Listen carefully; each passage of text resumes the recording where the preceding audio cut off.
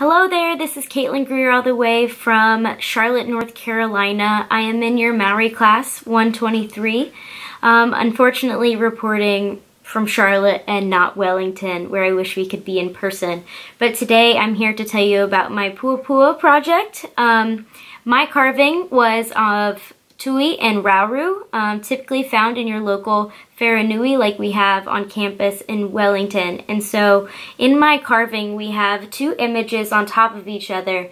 Um, I believe this represents their lineage. So on top we have Toi and we have rauru.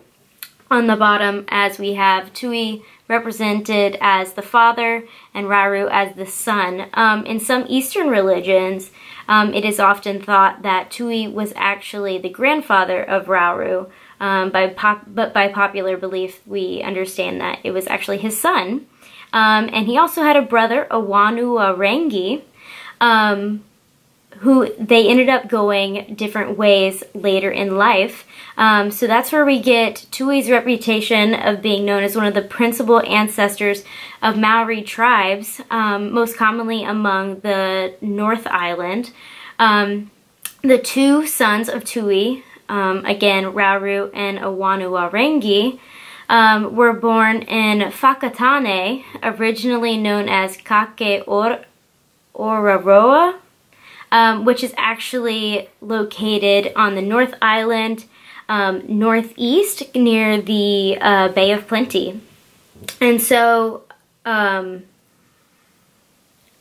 Whakatane is actually a neighboring area to where Toi grew up in Kaputerangi, um, which is actually considered um, one of the oldest village settlements or pa in New Zealand. Um, so again, that's in the North Island and the Northeast region, which is really cool. And so when Rauru came of age, he decided to start off on his own.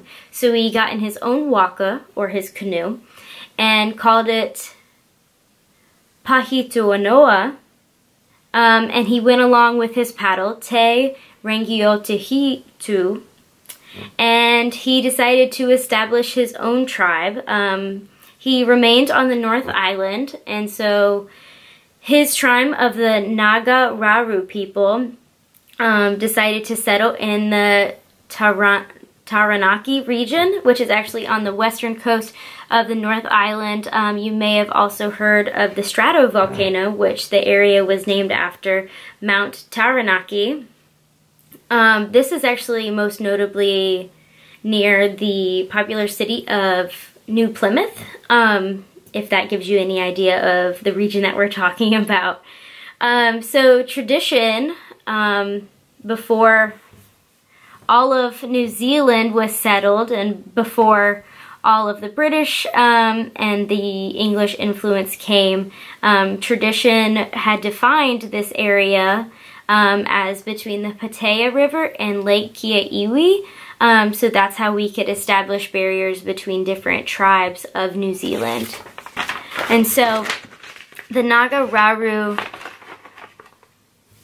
Kitahi people um, were actually to known have, were thought to have descended from the uh, Aotea canoe, um, as the Te Kahui Rere people um, were also known as the flying people. And so um, this mistake of different ancestry jumping all over the place um, and assuming that they had come from the same canoe um, comes from their very tight closeness in locality um, between these two tribes. So because they were so close, um, they ended up working together as one village ultimately. And so as people are working together and getting to know each other and cohabitating, we led to more and more manage, uh, marriages that had intertwined between the two tribes and to the two groups. So it was